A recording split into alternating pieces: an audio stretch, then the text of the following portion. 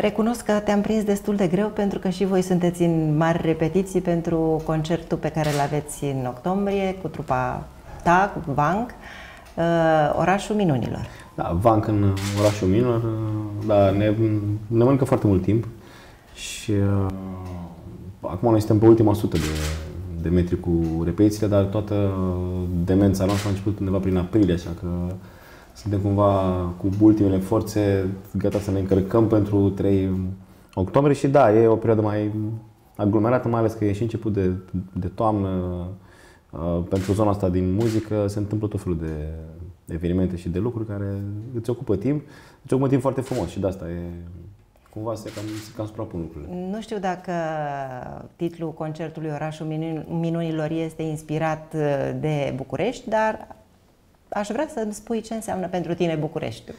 Nu este inspirat neapărat din București, este inspirat de locul în care e, e un loc fără graniță, orașul Minor, și este un loc în care fiecare se regăsește. Poate să se întâmple absolut oriunde în lumea asta, dar uh, în care poate să intre foarte mulți oameni fără să știe că, de fapt, uh, acel oraș poartă, poartă un nume. De, despre București, uh, mie îmi plac foarte multe lucruri despre orașul în care m-am născut și în care trăiesc. Sunt și multe de Andoasela și Anapoda, dar uh, în continuare îmi place să văd foarte mult partea bună a lucrurilor și nu numai din, nu numai din uh, oraș, ci și în general, în orice situație. Dar București, dacă îl privești cu anumiți ochi, așa, este un oraș foarte frumos. Are un farmec aparte. Eh, aș vrea să te, să te întorci un pic în timp și să îți amintești cum era Bucureștiul în vremea copilăriei tale. Ah, eu m-am uh, născut în, uh, în zona Drobanți, uh-huh. care acum este văzută foarte zona de fițe și așa mai departe, dar uh, în perioada în care eu am copilărit, era o zonă foarte frumoasă și cred că cea mai calmă din, din, din tot orașul, sau așa știam că este. Uh, nu se întâmpla mai nimic, nu exista, existau câteva magazine, era Materna, magazinul tineretului, era o gospodina, un fel de cofetărie, uh, alimentarea, pâinea, loto, chioșcul de ziare și așa mai departe, filatelia uh, și în schimb licee și școli. Uh, nu era demența de acum unde sunt mai bănci și, și, și farmacii. Și era o zonă în care mie îmi plăcea foarte mult, avea, era, era un alt soare parcă parcă altfel bătea lumina uh, soarelui și în, uh, în anii, eu sunt născut în 76, deci am, am devenit conștient prin anii 80 uh-huh, de, uh-huh. de, de amintirile mele și uh, îți dai seama că am o nostalgie foarte adânc acolo înfiptă în mine și uh, mi se pare că vremurile alea și frumusețea bu, bu, uh, Bucureștiului de atunci nu o să se mai întoarcă niciodată. Evident că alții o să spună că de fapt perioada interbelică a fost și mai frumoasă sau în anii 60 și așa mai departe. Dar pentru mine anii 80 în București au fost, uh, au fost superi. Cum vezi acum Bucureștiul? Mm, mult mai uh, occidental din punct de vedere al uh, agitației. Foarte, trebuie să fii foarte tare să reziști aici, nu ca meserie, ci ca nervi. Trebuie să faci un antrenament uh, foarte, foarte puternic. Mi se pare că este mult prea aglomerat Uh, foarte înghesuit și cu oameni mult prea nervoși. Sunt foarte stresați. Deci ce mai din toată țara mi se pare că în București sunt cei mai stresați oameni. Poate asta faptul că este și capitală și aici se întâmplă lucrurile, așa se spune, uh, vine cu un preț. Și prețul este că oamenii sunt, sunt foarte stresați și sunt uh, uh, agitați, se uită ură la tine, nu știu, e, e uh, câteodată pentru cei care vin din afară, cred că este foarte uh, supărător pentru că au impresia că nu sunt bine primiți. Dar nu, așa, așa sunt uh, bucureștenii, uh, în cea mai mare lor parte sunt foarte prinși în treburile lor și merg pe stradă, nu se uită stânga-dreapta, claxonează imediat, nici n-a pus să ridici mâna că uh, claxonează. Dar, pe de altă parte, mi se pare că crește foarte frumos, crește foarte frumos din punct de vedere al educației. Cred că oamenii au început să învețe să trăiască într-un oraș mare și uh, pornind de la faptul că din ce în ce mult, chiar dacă este o problemă cu bicicletele prin București, că nu sunt respectate pistele, faptul că există din ce în ce multe, eu nu știu să merg pe, pe bicicletă, dar respect și îmi plac cei care merg cu, cu, cu bicicleta și uh, mi se par niște oameni foarte, foarte puternici că ei aleg să facă chestia asta prin, prin orașul ăsta de ment. Uh, spuneam că lumea a început să respecte cumva, măcar uh, zona asta la, a, a populației și mi se pare că, nu știu, oamenii sunt mai încep să înțeleg mai bine care e ritmul unei, unui oraș. Și dacă știi să-ți faci programul, dacă e, e, ești foarte atent, poți să, poți să înțelegi între orele 8 și 10 nu se iese cu, cu mașina pentru că n-ai unde să mergi și între 17 și 19 și mai bine stai acasă și nu faci nimic și știi foarte clar, între orele alea poți să faci ce vrei tu în București, e liber, e, este, este foarte plăcut. Cred că au început să existe niște reguli tacite în, în București pe care dacă le vezi, poți să trăiești foarte frumos în, în, în orașul ăsta. Pentru că vorbeai mai devreme despre Bucureștiul interbelic, dacă ai putea să alegi ce ai alege, Bucureștiul de altă dată sau Bucureștiul de acum? L-aș alege pe cel de altă dată din curiozitate, pentru că nu am trăit acolo și mi se pare că aș avea ce să învăț și din acea perioadă. N-aș alege Bucureștiul de acum. Acum nu este un, un mod de viață și un oraș în care îmi place neapărat să trăiesc. Am învățat să, să trăiesc și așa cum uh, fac cu alte situații care se întâmplă în România, am învățat să văd partea, partea frumoasă a lor. Și văd în continuare, mă plimb pe străzile care îmi plac cel mai mult din, din oraș, încerc să nu mă stresez când merg cu, cu, cu mașina prin trafic, încerc să nu mă supăr pe oamenii care se uită urât sau așa foarte, foarte, foarte violent. așa? Da. Și atunci nu, nu, e, nu e un oraș în care ea spune că bă, vină să stăm în București. Foarte mișto în București. E frumos, poate fi foarte frumos, depinde ce vezi din el, depinde cum vrei să, să trăiești aici, dar uh, în țară mi se pare că sunt orașe care se, își respectă mai mult uh, cetățenii. Ai un loc preferat în București, un loc în care, de, un loc de care să te lege niște amintiri frumoase? Um, are, este un loc fizic, uh-huh. nu mai există acel loc uh, așa cum era el când, uh, când am copilărit eu, era parcul din spatele blocului uh, și care acum este o parcare distrusă și ea, nimic, are, e un șantier părăsit, care de fapt e o parcare, habar în ce, ce e acolo. Dar uh, acolo era parcul în care am început să, da, în care am început să mă joc, în care am început să, să visez foarte mult, în care am, uh, în care am cântat prima dată cu uh, colegii de trupă, deși habar n să cântăm la un, un instrument și cântam uh, numai din gură. După aia, peste câțiva ani, tot în parcul ăla am, uh, am venit cu e, toate scurile noastre acolo, le-am pus în mijlocul parcului și am început să, să cântăm, A să facem prima uh, voastră sală de repetiții. Cumva, da, nu. Primul spațiu în care am cântat unor oameni, celor care treceau prin, mhm. prin spatele blocului. Locul în care am făcut un carnaval prin anii 80. Mie, îmi este, de, de multe ori mi este dor de, de locul ăla. Acolo și jucam fotbal, jucam și volei, jucam și, nu mai țin, tot, tot ce se putea, toate, toate jocurile copilării. Și acolo am cunoscut, acolo am, mi-am cunoscut toți, toți prietenii, acolo am, Ehm, știam că trec fetele de la școală și trebuie să ne întoarcem toți capetele să ne uităm după ele. Era, e locul în care, na, dacă s-ar face un film despre acel loc, ar fi locul mm, cel mai cunoscut și cel mai frumos din, din tot filmul. Este un, a fost un parc undeva în spatele unui bloc din, din Dorobanți. Ehm, evident, împreună cu trupa Vanc ai avut concerte în toată țara, probabil și afară. Și ce vreau să te întreb este care oraș din țară ți-a plăcut foarte mult și de ce? Și ce ți-ar plăcea să vezi și în București? Ceva ce ți-a plăcut acolo și ai vrea să vezi și în București? Mai mult cred că sunt uh, porțiuni de orașe care mi-au plăcut foarte mult. Însă cel mai mult și în orașul, da, dacă ar trebui să părăsesc uh, București sau mult într-un oraș, ar fi Sibiu. Și asta am spus-o mereu, îmi place foarte mult. Îmi place și cum e organizat și cum, uh, și, și cum sunt oamenii. Pentru că mai sunt și alte orașe care sunt foarte frumoase, dar în care nu vibrez atât de puternic cu, cu oamenii cum, uh, cum, o fac în, uh-huh. cum o fac în Sibiu. Îmi place foarte mult pentru că este un oraș din ce în ce mai, mai cultural, se întâmplă mai mereu lucruri acolo și, nu știu, e foarte, foarte pozitiv. Și îmi place că își respectă cam tot ce își propun acolo. Am fost, mie mi-e frică să, să, să parchez acolo. E bine că în, în două minute vine cineva și mie mașina, pentru că nu, nu prea sunt locuri, dar dacă ai parcat puțin ora, gata, s-a dus. Și sunt foarte, foarte stricți. Și asta înseamnă că sunt foarte disciplinați și cam știu ce vor. Și toată lumea acolo sunt, e, e, e foarte riguroasă. Mi se pare că cei din Sibiu știu mult mai bine să se organizeze și să se respecte, cred că, mai mult între ei decât o facem noi aici în București. Asta aș vrea să aduc aici în uh-huh. oraș. Ar mai fi și alte uh, stări sau uh, principii din alte orașe pe care le-aș aduce și în București. La, la Cluj, aș, de la Cluj aș aduce viziunea oamenilor de a aș înfrumuseța locurile. Uh, mi se pare că au un, uh, un bun gust și un, pentru, pentru design.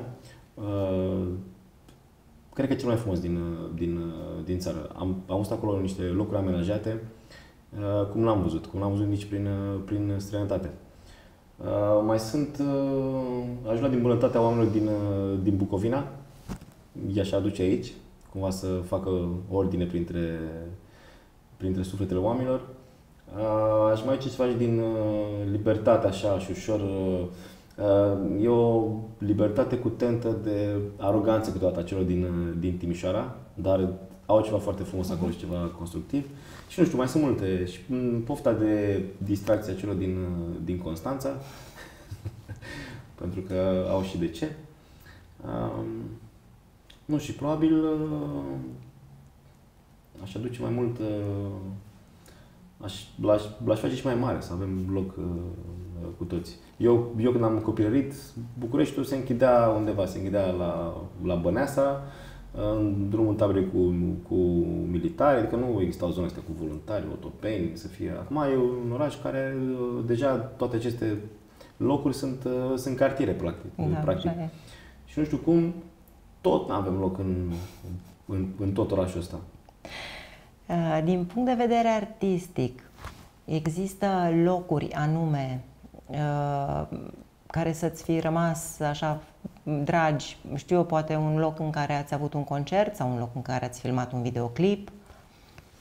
Ah, sunt, uh, sunt foarte multe sunt locuri. Multe. Sunt multe, sunt multe. Sunt, uh, și multe sunt inventate. Uh, artistic, în ultimul timp, pentru noi e foarte importantă sala polivalentă, pentru că acolo ne facem spectacole cel mai mari. Cumva a fost ocolită această sală de, de foarte mulți artiști până acum 2 ani când am uh, început să facem acolo spectacolul noastră de producție proprie și acum din nou lumea începe să revină acolo. Uh, deși este o sală de sport mai mult pentru alte acțiuni, este și un, e o sală în care s-au întâmplat foarte multe spectacole, foarte multe concerte și foarte multe concerte pe care am avut și eu în, în, în copilăria mea și uh, Acolo am văzut meciul de Cupa Davis între România și America cu, cu Jimmy Connors. Um, și ar mai fi, ar mai fi teatrele, ar fi teatru de comedie unde am și filmat un clip și unde am, la orice piesă am mers, m-am, m-am simțit ca în, ca în al nouălea cer. Apropo de asta am văzut bani din cer, cred că de vreo, de vreo 4-5 ori și încă l-aș mai vedea. Uh, mai sunt niște cluburi care sunt foarte... au o, energie foarte, foarte frumoasă. Și uh, mai sunt niște parcuri, unde sunt niște bănci care ajută. Parcul cel mai apropiat mie este, este Floreasca și mă plimb extrem de des pe acolo. În Helestro deja mi se pare că e mult prea multă e un fel de mol. Uh, acolo și nu prea mai uh, regăsesc. Cismigiu, iarăși foarte frumos și am mai descoperit acum niște străzi pe care nu le-am văzut niciodată. Niciodată. Și deși am trecut de atâtea ori pe lângă ele, uh, ieri, am, ieri, mă, ieri mă, mă plimbam undeva pe lângă, pe lângă mine și pe lângă Parcul Frasca și am găsit o stradă pe care n-am fost niciodată, deși mi-a fost tot timpul la îndemână. Și era absolut super. Nu mai eram, în, nu mai eram aici. Unde e locul în care îți place să te refugiezi atunci când uh, vrei să ieși un pic din, uh, din tumultul ăsta cotidian? Păi în București m-am obișnuit să mă plimb foarte mult pe jos și uh, nu doar că am copilărit în Dorbanți, am și crescut acolo și până ceva vreme tot acolo am stat și obișnuiam foarte mult că aveam și sala de repetiții și studio pe o, o stradă pe lângă calea Dorbanților. Obișnuiam să mă plimb pe străzi, îmi puneam căște și mă plimbam și pe bulevard până în Parcul Floreasca, acolo luam parcul și făceam câteva ture în mers.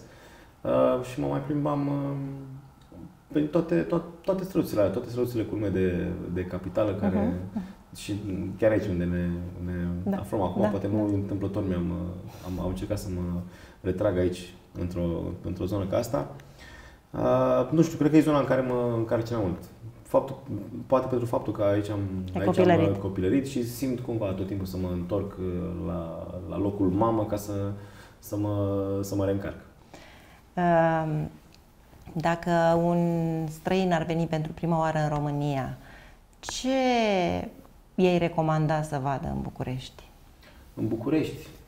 Tocmai să spun că nu i-aș recomanda prima dată în București, i-aș recomanda alte locuri, dar în București, dacă l-aș aduce, uh, evident, tot ce înseamnă zona de centru, să vadă Ateneu acum, pentru că e obligatoriu să, să vadă acolo uh, și mai ales pe dinăuntru, pentru că este absolut superb.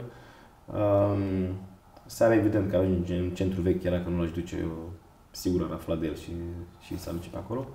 Cred că l ajuce foarte mult prin parcul și l ajuce pe străzile astea și pe unde ne aflăm acum. L ajuce și prin Cotroceni, unde uh-huh. sunt niște străzi superbe, l ajuce și pe, prin spate pe la 1 mai, unde iarăși sunt niște străzi senzaționale. Uh, l ajuce să vadă niște curți de, de biserici, care iară sunt, uh, sunt uh, superbe. Și um, nu știu, până l-aș mai... Uh, l-aș, l-aș ruga să-și închidă ochii de la Otopen până, până, până, până în oraș, sau dacă este prin altă parte, pe Colentina sau prin alte sau, pe, sau prin Ghencea, pentru că nu prea e frumos pe acolo. E mult prea întâmplător. Care e cea mai frumoasă amintire a ta legată de București? Cred că o să mă întorc tot la perioada copilăriei, pentru că atunci am descoperit cumva orașul și um, pe lângă zona în care am copilărit mai este undeva pe lângă Știrbe Vodă cu Schitul Măgureanu. E acolo o bază de tenis, sunt două terenuri foarte ascunse și acolo juca tata tenis, uh, era terenul instituției în care, în care lucra și foarte mult timp l-am, uh, l-am petrecut acolo, privind, uh, privindu-l pe el cum joacă și cu prietenii lui și cum mai beau eu bere și cum își făceau brutari și așa mai departe când eram mic și simțeam mirosul ăla de... Mi-a intrat cumva în sânge mirosul ăla și de zgură, cu mingile de tenis noi, cu mirosul de, de iarbă proaspătă și cu mirosul de, de grătar. Și poate de acolo am început să, să-mi placă foarte mult tenisul și să merg. Și acum, uh, iarăși pe undeva pe aproape aici, pe la complexul studențesc pe lângă tei, încerc să mă duc uh, din cât mai des la, la, la tenis. Zona asta în care merg acum și uh-huh. zona în care, am, în care jucam cu, încercam să joc și cu, cu, cu tata atunci tenis, cred că sunt cele mai frumoase pe care, uh, la care pot să mă gândesc eu acum. Uh, mi-ai spus mai devreme câteva mm, amintiri legate de copilărie, uh, amintiri uh, frumoase. Sigur că uh, Uh, sau mă rog, amintiri uh, legate de lucruri pozitive, dar vreo trăznaie mare pe care ai făcut-o când erai copil? Păi, da, a dat mașina peste mine, am, uh, am speriat niște oameni foarte rău de, de, de la bloc, făceam ceva de genul camera ascunsă cu ei, deși nu aveam nicio cameră.